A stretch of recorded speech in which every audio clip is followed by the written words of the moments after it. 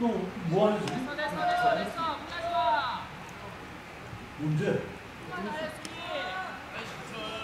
몇 개나 던지는데 뭐? 다 던졌다고? 처음 던질 때좀 뭐, 좀 너무 좀 해가지고 이렇게 좀 처음 던지고 이렇게 해주실 때 작은 걸 던지는 거 아니야? 어때? 좀 걸리는 건 있지? 근데 그걸 참고 해야지, 참고. 저기 마사지 많이 해주면 풀땀 하나도 안 걸려. 그, 그, 땀 그, 올라가면 이게 그래, 척추가 빨리 제자리 잡아야 돼. 말이 되나, 지금? 교정이 필요할 거야. 그 던지면 던지면 추달 갖고 좀 참고해서. 어?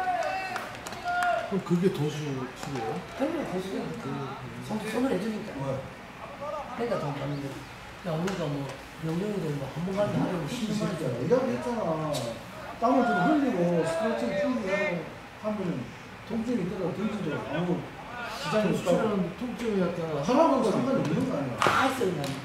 미친놈들이 돈 받으니까 벌에서 돈을 벌려고 한 거야. 근데 이제 의사들도 그 사람들 월급을 적게 주고, 기본 조금만 주고, 거기서 나온 돈에 이제 반짝하는 거야.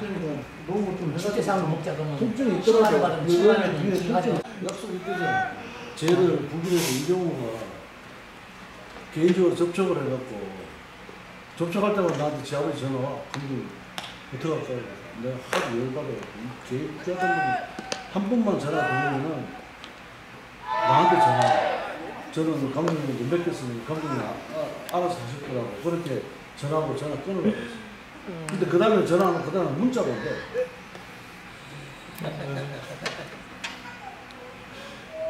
뿔말 고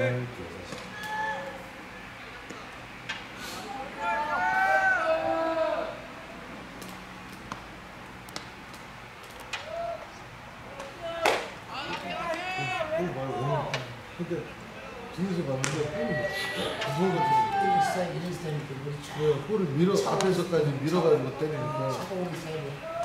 뿔끝이 정말 좋은 거야 그럼 저렇게 싹 문대야지.